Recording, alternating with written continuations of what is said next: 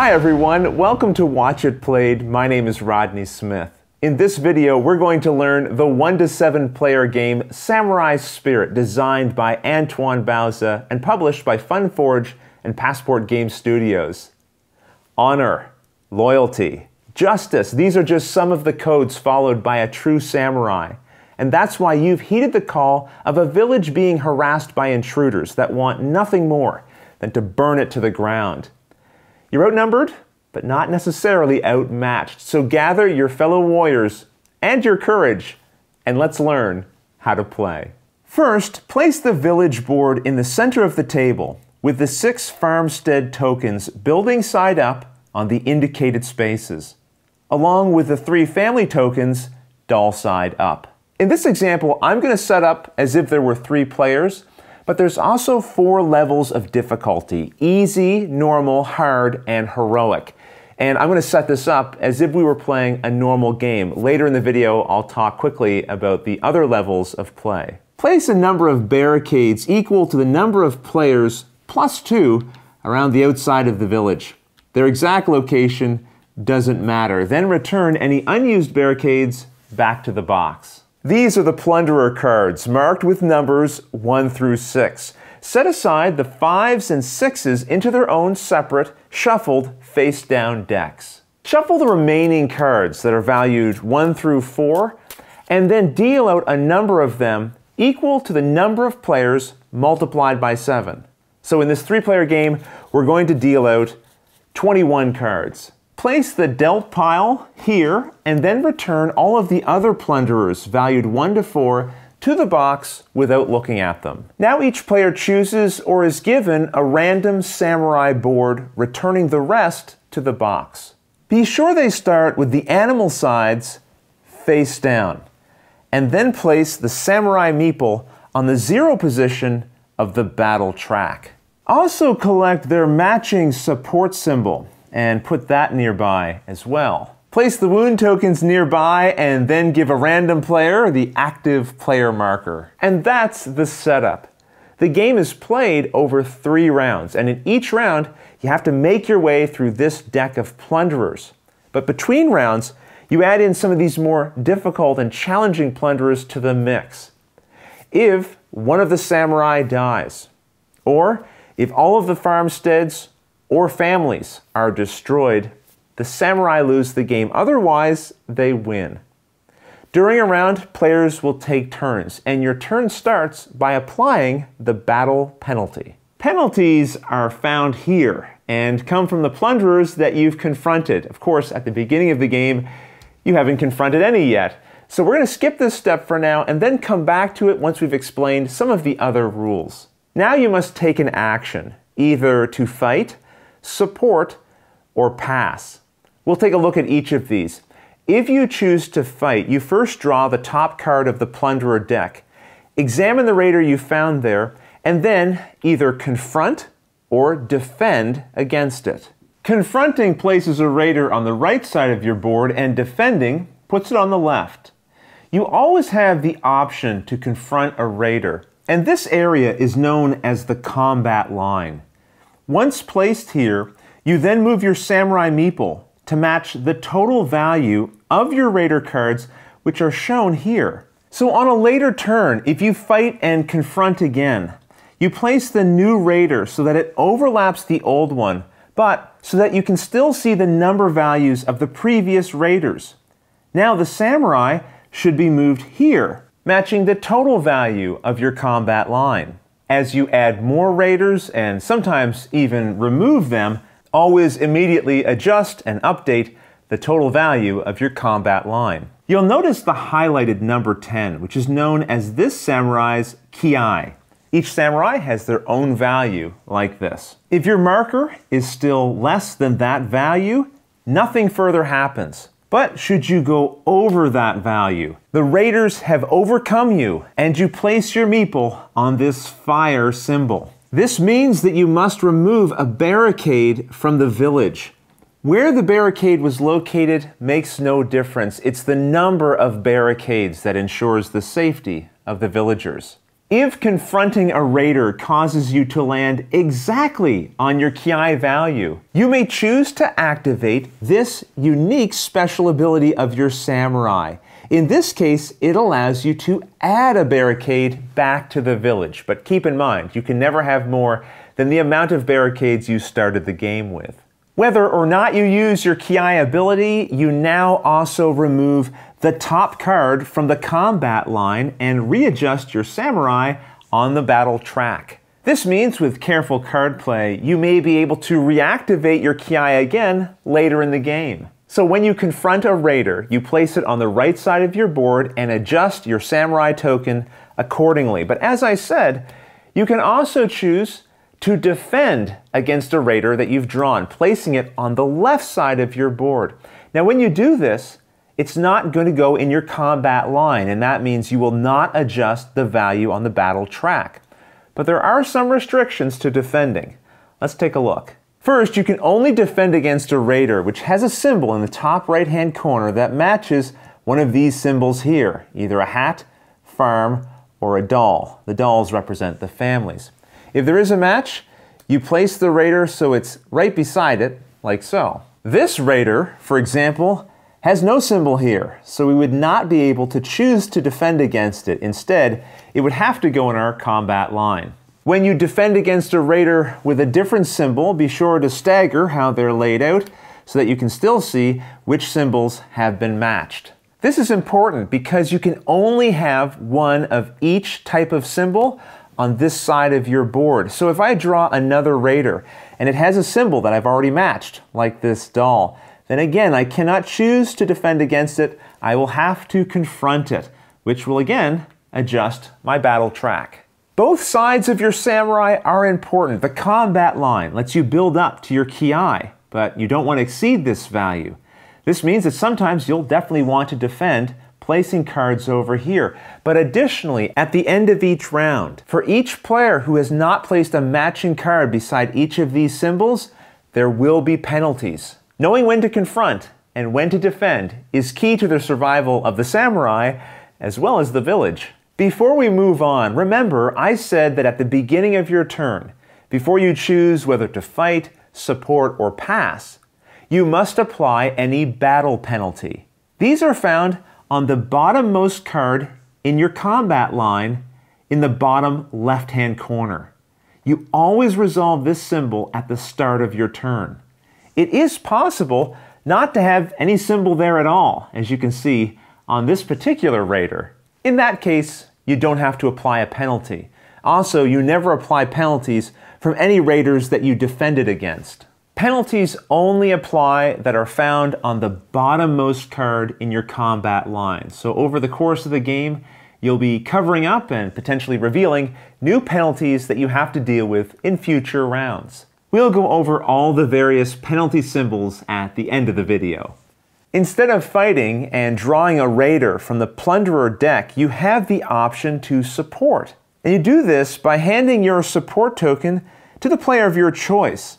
And then, without looking, you move the topmost card from the raider deck into this area which will be known as the intruder stack. These tokens are only used for the support action to be able to pass them as a reminder that the samurai now has new abilities to use during their turn, because you always have the ability that's shown here on your player board. For example, the player controlling this samurai always has access to this special ability that says, after choosing and resolving a fight action, you can choose a second fight action. However, this player was also given a support token by another samurai on their turn and that means they'll also be able to use this ability as well. For example, this ability means that when you draw a card from the top of the Raider deck, you have the option of immediately putting it on the bottom of that deck. Then you must draw a second card, which you will have to either confront or defend. Paired with this ability, it means that each time they do a fight, they'll have the option of returning that first card to the bottom of the deck.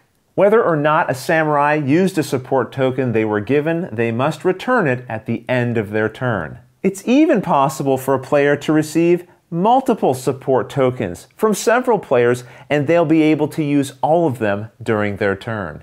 If you choose not to fight or support, then you must pass. And there's a few reasons you might do this. For example, you may have already completely filled up the left side of your board. And on your combat line, you know that if you add in more raiders, you're likely to exceed your ki value and burn down a barricade. This is a good situation where you might want to pass, and you do this by laying down your meeple. For the remainder of the round, it's almost as if you don't exist. You don't suffer from penalties in your battle line, and you can't be targeted by effects, and you can't give or receive cards. Now, if at the start of your turn you are already past your Ki, then you must resolve the battle penalty as normal, and for your action, you must pass, laying your meeple down. After taking an action, the next player, in clockwise order, resolves their battle penalty, and then they take an action. And so it goes around the table, turn after turn. Now, there is an active player marker you can give to the player currently taking their turn. In the games I've played, I haven't found I've needed this as a reminder, but it's there if you want to use it. Now, a round will end either once the last Raider card has been drawn from this deck and resolved, or once all the samurai have passed. If they've all passed, any cards remaining in the Raider deck are then placed on top of the intruder stack. Now each player checks the left side of their board, starting at the top. Each player that did not match a Raider to the hat symbol places a wound token on their samurai. Each player that did not match a farm symbol now removes a farm token from the board. And finally, each samurai that does not have a doll symbol matched removes a random family token. Now the villagers come to your aid. Flip over the family tokens that remain in the village and then receive the benefits that they show. This villager lets you put back a barricade that was previously destroyed. That does not mean you can bring barricades that were put back in the box during the setup and place those around the village. This symbol means that you take the top card from the intruder deck and discard it here to the graveyard. The fewer intruders you have in this deck, the better, so that's a good thing. And this symbol allows the players to choose a wound on one of the samurai and remove it. Now you can shuffle and randomly place back the surviving families into the village. This again reminds you of the importance of saving these families because once they are removed from the game, you will not receive their benefits at the end of each round. Now we resolve the intruder deck by revealing them one at a time. And if you see flames in this bottom corner, you remove a barricade from the village. You'll notice that some of the intruders don't have flames, so they'll have no effect. But based on this, we'd have to remove two more barricades. Any time in the game that you are required to remove a barricade and there's none left in the village, you remove a farm instead. Now, you might remember one of our samurai had caused one of these families to be removed, but once you've resolved the intruder deck, if you still have at least one farm and at least one family in the village, you have survived the round and can continue with a new one. To do this, collect all of the cards used during the first round into a single deck and reset your samurai meeples to the zero position. Now shuffle into the Raider deck from the previous round a number of value 5 Raiders that were set aside earlier equal to the number of players. These should be randomly chosen and you shouldn't look at which ones have been picked. Again, without looking, return the unchosen ones back to the box. Should you complete a second round, going through the entire Plunderer deck again following the same rules, and there is still one farm and villager left, you play a new round. But this time, you shuffle into the Raider deck a number of randomly chosen value 6 Raiders. Again, not looking at them and only taking a number equal to the number of players. The rest, you return to the box. If you survive the third round with at least one farmstead and family, the players win. Each new round is started with the player clockwise from the player who took their turn last in the previous round. So this is a time where it's not a bad idea to have that player with the active tokens so that you don't forget, wait a second, who was it who went last after you've done all the setup for the new round? But now let's take a moment and look at the different battle penalties that you might face from the raiders in your combat line. If you see this symbol, destroy a barricade, or if there's no barricades, destroy a farm. This means you move the top card of the raider deck to the intruder deck. This means you may not place raiders on the left side of your board this turn. Well, this means you cannot use the support action. However, you may still receive support from another player. These two symbols mean that either the player to your left or right must draw a raider card and add it to their combat line. Because this is a penalty, they're not allowed to use their talents at this point. However, if their Kiai is triggered, that is resolved as usual. After resolving these penalties, you can still choose to fight and draw another card from the Raider deck that you will have to face yourself. Finally, this symbol means that you sustain a wound. If you already have a wound on your samurai and would sustain a second wound, Instead of taking another token, remove the one that you have, but then flip your samurai board over. Your inner animal has been unleashed. Your battle track is now extended, and your Kiai ability is improved. Put your samurai meeple back on the appropriate value based on the numbers in your combat line. If you would take a wound now, Place it on your samurai board as normal, but if you would take a second wound while you're on the animal side, your samurai dies and the game is lost. Now, although wound tokens can be healed, once you've flipped to your animal side, you will stay there for the rest of the game. So healing this samurai right now wouldn't do anything. If a samurai is ever unable to apply a penalty, let's say they're showing the right arrow, but the player to their right has already passed, and that means they can't receive another card. In that case, the samurai takes a wound instead. Along with the normal play, which we just learned, there's also easy, hard, and heroic difficulty levels. For hard, you set up the village using a number of barricades equal to the number of players plus one. So compared to a normal game, you would have one less barricade. Also, each time a farm is destroyed, you first flip it over, apply the penalty, and then you remove it. For the heroic difficulty level, you set up the village with barricades just equal to the number of players. You apply farm penalties, and you don't get bonuses from family tokens between the rounds. The easy level is, well, it's easier, and I'll leave that for you to discover in the rulebook. For a two player game, the rules are slightly modified. After choosing your two samurai, the support tokens from the unchosen samurai are placed beside the board. And now, at the start of each turn, before applying battle penalties, a player may choose to take and use any number of these abilities during their turn. However, they can each only be used once, so at the end of your turn, discard the used support tokens. Of course, players continue to have access to their own support tokens. For a solo game, just follow the two player rules and control both of the samurai yourself. And that's how you play Samurai Spirit. Now, if you have any questions at all, don't hesitate to put them in the comments below. And I hope you'll stick around because we didn't go over all the Kiai powers and the various support token abilities, those are found at the very back of the rulebook and they're quite easy to follow, but we're going to be doing a full playthrough of this game as well, and we'd like you to join us, so consider subscribing to the channel. Maybe you'll see some of those symbols explained there. But until the next episode, thanks for watching.